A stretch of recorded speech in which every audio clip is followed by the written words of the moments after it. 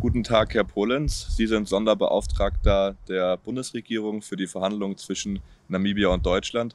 Was ist das für ein Abkommen, was Sie da ausgehandelt haben?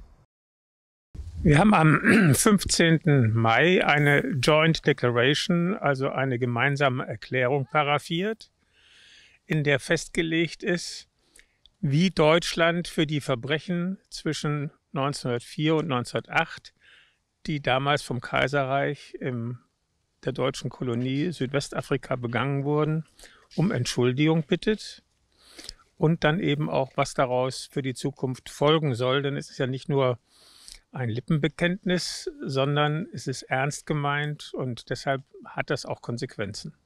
Auf was für einer Ebene wird dieses äh, Abkommen ausgehandelt? Mit was für Leuten haben Sie gesprochen und verhandelt? Es waren Regierungsverhandlungen die namibische Regierung hat auch einen Sonderbeauftragten ernannt, Dr. Setten Gaviro. Äh, er ist leider jetzt an Corona gestorben. Äh, und er ist ein sehr geachteter Herero. In der Delegation, die er geleitet hat, waren Herero und Nama-Vertreter. Sie waren bei jeder Verhandlungsrunde dabei und auch in den vorbereitenden Gesprächen äh, in Namibia im sogenannten Technical Committee und im Political Committee waren äh, Herero und Nama-Vertreter dabei. Ich betone das deshalb, weil es auch Herero und Nama gibt, die sich beklagen, dass sie nicht dabei waren. Aber das war eine Entscheidung der namibischen Regierung, wen sie in ihre Delegation nimmt und wen nicht. Viel der Kritik, die äh, geäußert wird an diesem Abkommen, besteht auch seitens der Nama und Herero, seitens dieser Volksgruppen auch darin, dass sie nicht komplett äh, repräsentiert werden in diesem Abkommen. Was entgegnen Sie dieser Kritik?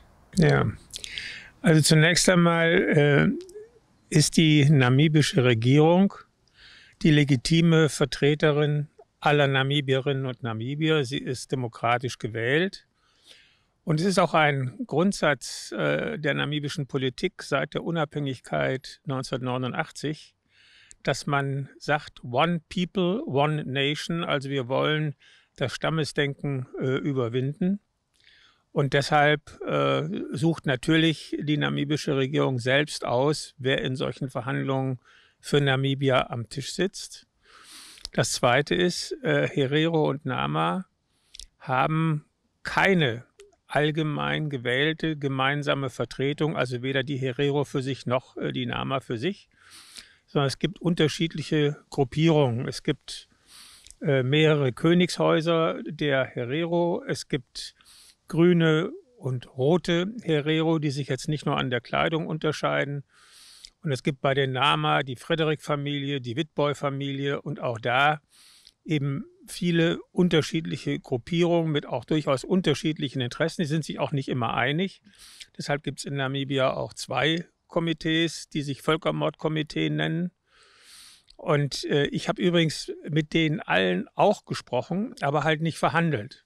Ich habe die habe Herrn Rokoro getroffen, ich habe Frau Hoffmann getroffen und sie darüber unterrichtet, worüber wir sprechen, was das Ziel ist. Denn es waren ja keine in dem Sinne Geheimverhandlungen, sie waren vertraulich, was bestimmte Dinge anging, aber die Ziele und worüber wir äh, sprechen wollten, das habe ich immer auch öffentlich gemacht. Was waren Ihre persönlichen Ziele und Erwartungen, mit denen Sie in diese Verhandlungen gegangen sind? Und wie waren auch die Ziele gesteckt seitens äh, der deutschen Regierung und der namibischen Regierung? Was äh, wollten Sie dort äh, genau erreichen mit diesem Abkommen? Ja, ich ähm, wollte erreichen, dass es eine Vereinbarung zwischen Deutschland und Namibia gibt, die die Grundlage äh, bietet für gesellschaftliche Versöhnungsprozesse. Äh, wir haben nie Abschluss- oder Schlussstrichverhandlungen geführt, sondern wir haben darüber nachgedacht, was kann man heute tun, um die Lebenschancen der heute lebenden äh, Namibierinnen und Namib äh, der Herero und Nama, aber auch eben der Namibier zu verbessern? Und äh, was kann man heute tun, um die noch vorhandenen Wunden äh, zu heilen? Und äh, wie können Strukturen geschaffen werden? Dadurch sind wir auf die Idee dieser Stiftung gekommen, die sich, äh, die dazu beitragen, dass wir zu einer äh, gemeinsamen Erinnerungskultur kommen. Wie sind die Verhandlungen aus Ihrer Sicht gelaufen? Gab es Themen oder auch ähm, andere Schwierigkeiten, die aufgetreten sind, vielleicht auch mit einzelnen Verhandlungspartnern? Ja, es hat ja länger gedauert, als, glaube ich, äh, die meisten erwartet hatten. Ich hätte jedenfalls jetzt nicht gedacht, dass es fast fünfeinhalb Jahre äh, werden äh, vom Verhandlungsbeginn oder von, besser gesagt, mhm. meiner, meiner Beauftragung. Auf Arbeitsebene ist schon ein bisschen vorher auch verhandelt worden, ähm, bis wir dann fertig waren. Ähm, wir mussten ja eine ganze Menge Dinge dabei besprechen und ein Einvernehmen erzielen. Zum einen die Frage, wofür bittet Deutschland um Entschuldigung? Das kann man erstmal mit Schlagworten beantworten. Die Verbrechen, den Völkermord an Herero und Nama zwischen 1904 und 1908. Aber es ging schon darum, genau zu beschreiben, was damals geschehen ist, so dass beide Seiten sagen, ja, das ist jetzt unser Blick auf diese Vergangenheit. Äh, so ist es aus unserer Sicht gewesen und damit wollen wir uns auseinandersetzen. Dann ging es um die Frage, äh, wer bittet um Entschuldigung. Da war ziemlich schnell klar, es soll hochrangig und für Deutschland repräsentativ sein. Dann denkt man natürlich an den Bundespräsidenten.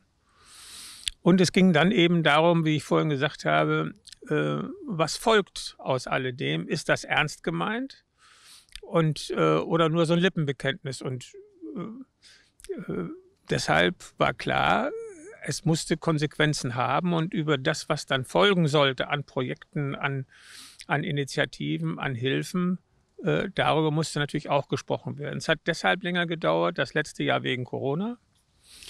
Davor hatten wir das Problem, dass es eine Klage von Herero und Namenvertretern, Herr Rokoro äh, war federführend, gegen die Bundesrepublik Deutschland gegeben hat, mit dem Ziel, äh, dort quasi einen Schadensersatz einzuklagen. Die Gerichte haben jetzt zum dritten Mal äh, dieses Ansinnen abgelehnt, weil es eben keine Rechtsfrage ist, um die es geht. Die Völkermordkonvention von 1948 hat keine Rückwirkung, sondern es geht um eine politisch-moralische Frage. Und ich finde, es ist eigentlich äh, für eine Bitte um Entschuldigung, vielleicht sogar mehr, äh, wenn man aus freiwilligen Stücken äh, sich um Versöhnung und Entschuldigung und äh, äh Verbesserung der Lebenschancen etc. etc. kümmert, als wenn man dadurch, als wenn man dazu durch ein Gericht verurteilt wird. Also ich glaube, der der Wert dessen, äh, was wir äh, verhandelt haben und was das Ergebnis ist, nimmt eher dadurch zu, dass es ein freiwilliges Übereinkommen ist, als dass es jetzt das Abhandeln einer Rechtsfrage gewesen wäre. Wir haben Herrn Rokoro das auch immer wieder gesagt, sparen Sie sich Ihr Geld, die amerikanischen Anwälte sind teuer, es ist aussichtslos und gut, er hat es äh, nicht wahrhaben wollen und äh, aber letztlich hat jetzt ja auch der amerikanische Supreme Court, zu dem die Sache dann versucht worden ist zu bringen, auch gesagt, wir nehmen das nicht an, es ist keine Rechtsfrage.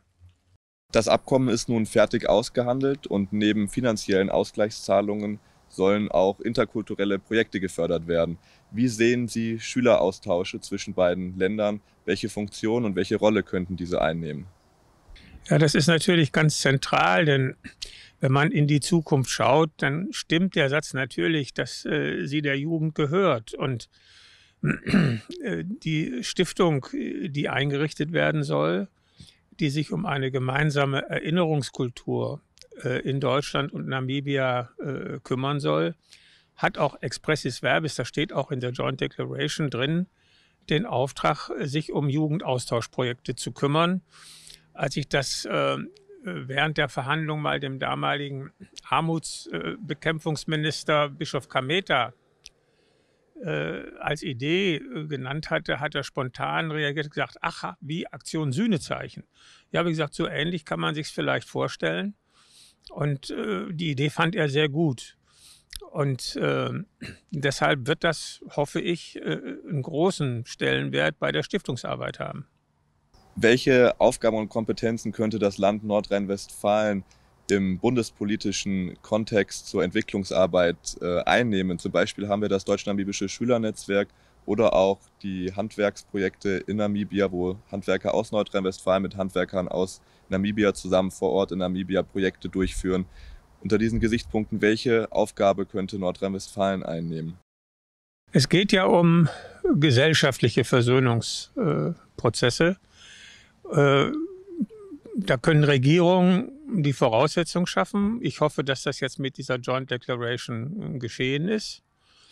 Äh, und da wir ein föderaler Staat sind, äh, sind natürlich die Länder herzlich eingeladen und im Grunde auch gefordert, sich jetzt mit eigenen Ideen, eigenen Initiativen auf dieser Basis zu beteiligen. Es gibt dann eben zusätzliche Möglichkeiten zu denen, die bisher ja auch schon bestehen. Ich weiß das aus Nordrhein-Westfalen, auch aus Rheinland-Pfalz, aus Bremen, aus anderen Ländern.